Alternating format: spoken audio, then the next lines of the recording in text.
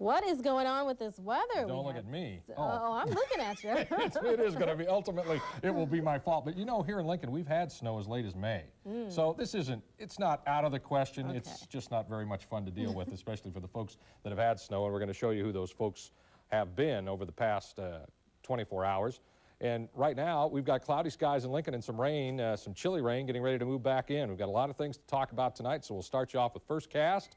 And we will say cloudy skies, breezy and chilly tomorrow morning with some cold rain falling. Lincoln and Grand Island mid to upper 30s. Tomorrow afternoon, the chance for showers will continue in Lincoln. We could see a few peaks of late day sun in Grand Island, Hastings, and Kearney. It'll still be breezy with highs doing no better than 45 to 50 tomorrow afternoon. We should normally be in the mid to upper 60s. And then tomorrow evening, mostly cloudy here in Lincoln, but partly cloudy conditions. And tomorrow night, we're going to be looking at some very cold conditions. Frost advisories probably going to be issued, or at least the possibility of frost across much of the coverage area as temperatures get real cold. One more reminder, if you don't have anything to do tomorrow night, we even if you do have something to do tomorrow night, we'd still love to see you at 7 o'clock at Lincoln Southeast High. And with this weather, you ain't going to want to be doing anything outside anyway. It's a benefit basketball game for the Behavioral Skills Program, students in kindergarten through ninth grade. A celebrity team of which I will participate will take on uh, the BSP students, uh, some staff, some UNL uh, athletes. Our coach will be Shane Osborne. A lot of TV personalities, radio, newspaper celebrities as well. We thought we were going to have Kevin Garnett. Turns out we're just going to have Kevin Suits, so we're going to have to make do with him. And we'll also have uh, Attorney General John Bruning and Fire Chief Mike Spadt. Three bucks to get in, a dollar for students. We would love to have you come down and cheer us on or cheer the BPS guys on uh, just come down and uh, help out a great cause. Here's a check at some 24-hour rainfall totals. Grand Island with over three-quarters of an inch, two-thirds of an inch in Wilber, over half an inch in Ord, Beatrice, and Aurora, as well as North Platte. Here in Lincoln, about a third of an inch. We're going to pick up some more moisture over the next couple of hours. And snowfall, not just rainfall, but snowfall. Up in Cherry County, we've had between four and eight inches of snow around Valentine and Kilgore, and then you can see some additional snowfall totals there, and it's certainly not out of the question that some folks, especially across the north, could mix in some snow during the evening and overnight hours tonight. Here's a look at Nebraska radar. This loop over the last three hours. Here's the chilly rain moving out of central Nebraska into the eastern part of the state. We'll see rain here shortly in Lincoln and the snow continuing to fly around Ainsworth and O'Neill. Here's a look at the National Weather Service radar out of Hastings. You can see the moisture now continuing to push from the Grand Island and Hastings area on towards the east. That's the uh, moisture that will be working its way into eastern and southeastern Nebraska. Here comes that chilly rain. Most of this is very light, but some areas could pick up a quarter of an additional inch of precip. Afternoon highs today ranged from the upper 30s all the way to the 70s, so it was quite a mess out there today. 40s, 50s, 60s, and 70s, including 50 for a high in Grand Island in the afternoon, 68 in Lincoln. Right now, temperatures are in the 30s and 40s. We've got some very gusty winds out there. It's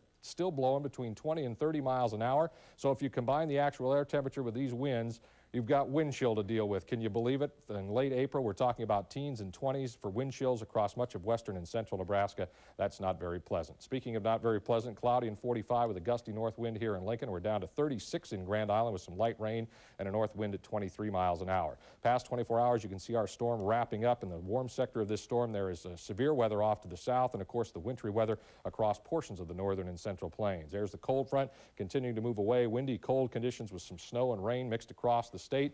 Tomorrow morning, we'll continue to see the chance for snow, cold conditions, windy conditions. It'll be a chilly rain, we think, in Lincoln and Grand Island. And then things will start to clear out as we move into late in the day on Tuesday. But again, this cold area of high pressure will set the stage for temperatures in the 20s and lower 30s tomorrow night. Tonight, we're talking about 20s, 30s to around 40. Highs tomorrow only in the 40s and 50s. Lows tomorrow night very, very cold and then much better by the time Wednesday rolls around. Tonight, mainly cloudy skies with periods of rain, windy and colder, 39 in Lincoln, 35 in Grand Island. Tomorrow, the forecast calling for some rain through at least the first half of the day, some gusty north winds, a high of only 49 in Lincoln, 45 degrees in Grand Island, and a forecast right now for Wednesday, a very chilly start. In fact, it could be a frosty start, but with plenty of sunshine, we'll warm into the low and mid 60s by Wednesday afternoon. Seven day outlook looks like we'll warm up rapidly Thursday and Friday, slight chance for some precipitation during the day on Friday, but after today and tomorrow, things will get back to normal around here. But goodness sakes, talking about a cold slap in the face when you've got to talk about four to eight inches of snow, even in northern Nebraska. It's a little late in the year to be talking about that. Yeah, no kidding. So I shouldn't complain about that 45 degrees tomorrow? I wouldn't okay. if I were you. Okay. okay. Thanks, Kim. You bet. Well, here's tonight's winning lottery numbers. Got the 2 by 2 red numbers are 5 and 16. The white numbers are 6 and 19. The Nebraska pick three numbers are 6, 8, and 5. And the pick five numbers are 3, 14, 22, 23, and 35. One of the Husker football players is transferring? That's right, Cerise. Shocker or not, the Huskers are losing one of their I-backs, now a buyback, a guy who's saying goodbye to the program. We'll have the details on that coming up next in sports. 1011's online sports poll is brought to you in part by Williams Cleaners.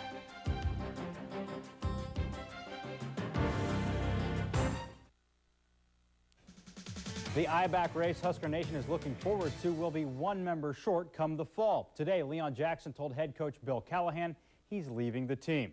This announcement comes after finally settling into a position this spring, which Jackson did at I-back over the past month. The sophomore to be rushed for 50-plus yards on 12 carries in the red-white scrimmage. Last season, he spent time practicing in the backfield, then was moved to safety and wound up at receiver. 10-11 Husker insider Sean Callahan thinks Jackson might be going back to his home state and will possibly transfer to Washington or Washington State. Bill Callahan issued the following statement about Leon. Quote, we want to thank Leon for his contributions and efforts, and we wish him well in his future endeavors. We have been extremely supportive of Leon Jackson's development in our program, and we are disappointed to see him leave so early in his career. End quote. Well, we want your thoughts on Leon Jackson leaving the team. Log on to our Voices from the Crowd sports blog and let us know. Well, even though the Nebraska baseball team took two from Texas in Austin, the Huskers remained at number four in the national polls today. Up next for the Big Red, Wichita State, who they host tomorrow. That game can be seen on Cox Cable or Time Warner Channel 77. This week's sports poll question, if the game was on the line, which Nebraska pitcher would you want on the mound? You see the options, log on and vote. From baseball to softball, Rhonda Revelle's team enjoyed quite the thrilling weekend at Texas Tech. Saturday, Jamie Waldecker and Crystal Carwile hit back-to-back -back home runs to tie and win the game in the seventh inning. Then yesterday, the Huskers came from behind, taking the lead in the seventh, but the game went into extras.